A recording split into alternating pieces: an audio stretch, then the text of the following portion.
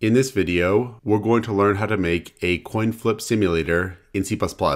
So to simulate a coin toss or a coin flip, what we need to do is randomly generate either heads or tails because a coin will have a head side and a tail side. And so the result of flipping a coin should either be heads or tails.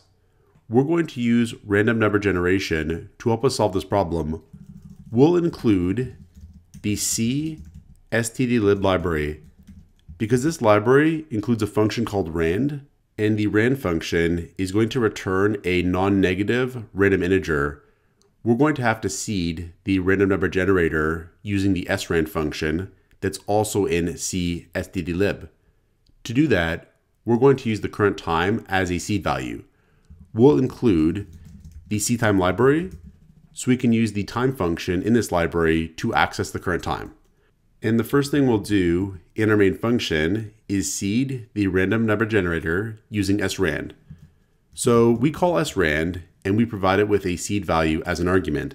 In C++, when we use the rand function, we're actually using pseudo random number generation. What that means is that the seed value is actually going to determine the sequence of random numbers that rand is going to return. So if we provide the same seed value each time our program runs, we're going to get the same sequence of random numbers each time our program runs. And that would not be very good because it wouldn't feel random at that point. We want our program to use a potentially different sequence of random numbers each time it runs.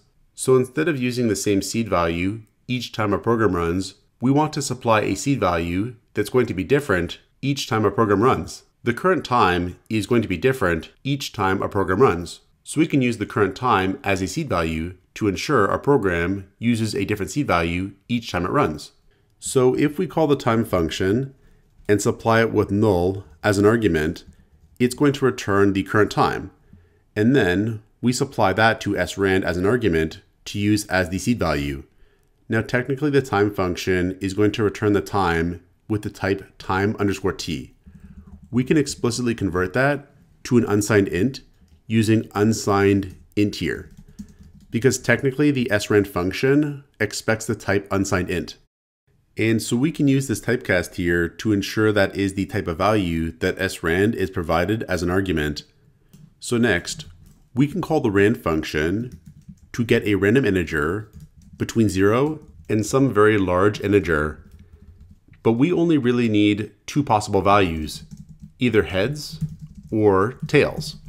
What we could do is say that 0 is going to represent heads, and 1 is going to represent tails.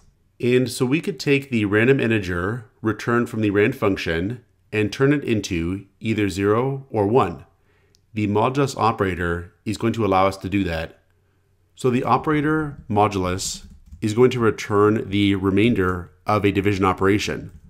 So rand modulus 2 is going to give us back either 0 or 1. Because if we take any possible integer in this range and divide it by 2, the only possible remainders are 0 and 1. It's going to be a remainder of 0 if the integer is even. It's going to be a remainder of 1 if the integer is odd. Because, for example, 8 divided by 2 has a remainder of 0. But 9 divided by 2 has a remainder of 1. And 10 divided by 2 is back to having a remainder of 0. And it's going to proceed like this for every possible integer in this range. So we have this way of getting a random integer that's going to be either 0 or 1. And we're going to say that 0 is going to represent heads and 1 is going to represent tails. So we'll actually define preprocessor constants for each of those. We'll have number define heads 0 and number define tails 1. Then we'll make a function that's going to randomly return either 0 or 1, where 0 is heads and 1 is tails. So here we'll have int flip coin, and then we'll supply a definition of this function down here we'll have int flip coin, and the function is going to use the rand function. We'll say if rand modulus 2 is equal to 0, this means we have a head. And in that case, we're going to return heads. Otherwise, the only other possibility is that we're going to return tails. So we'll have else return tails. We could then test out this function in main. So up here, we could call flip coin. We could say if flip coin is equal to heads, then we'll output here heads followed by an end line. Otherwise, we'll output tails followed by an end line. So if we save, compile, and run the program, here we initially get heads. If we run the program again, we get heads, and again, we now get tails. We could also put this code inside of a loop body to perform multiple coin flips. So we could have here for int i is equal to 0, i is less than 10, i plus plus. So here we're using a for loop with a counter variable i that's going to go from 0 up until 10. So that way the for loop body executes 10 times and 10 coin flips occur. So if we save, compile, and run the program, now we get a whole sequence of coin flips here, where here we had four tails in a row, followed by a heads, followed by a tails, and so on. Now, so far we've chosen to represent heads with zero and tails with one. We could create a function that just returns a string heads or a string tails.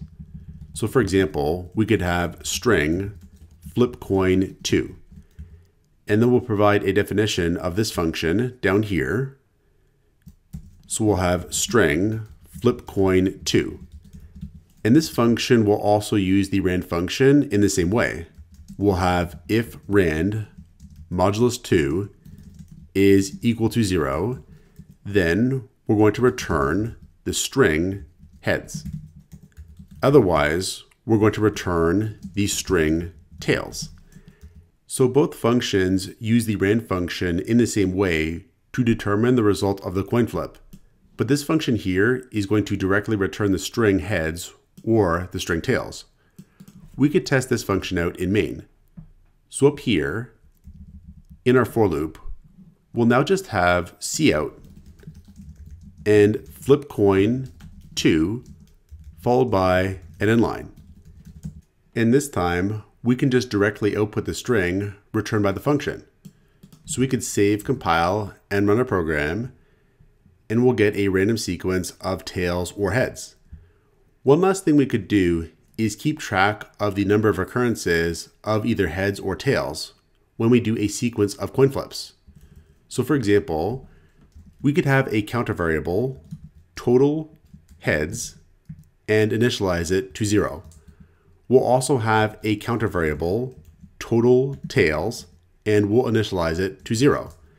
Then we could check the result of each coin flip and increment either total heads or total tails. So we could have here, if flip coin 2 returns the string heads, then we're going to increment total heads by 1 and output here heads followed by an end line. Otherwise, we're going to increment total tails and we'll output tails followed by an end line. And then when this loop is done its work, we could output the total number of heads and total number of tails that were flipped. So we could have here cout total tails followed by total tails and then an end line. And we could also have cout total heads followed by total heads and then an end line. And if we save, compile, and run this, we're going to get our sequence of tails or head flips. But now we get the total count of heads and tails that were flipped. We could try it again. And this time here, we get a total of seven heads and three tails. So this is how we can use C++ to simulate a coin flip Check out portfoliocourses.com, where we'll help you build a portfolio that will impress employers.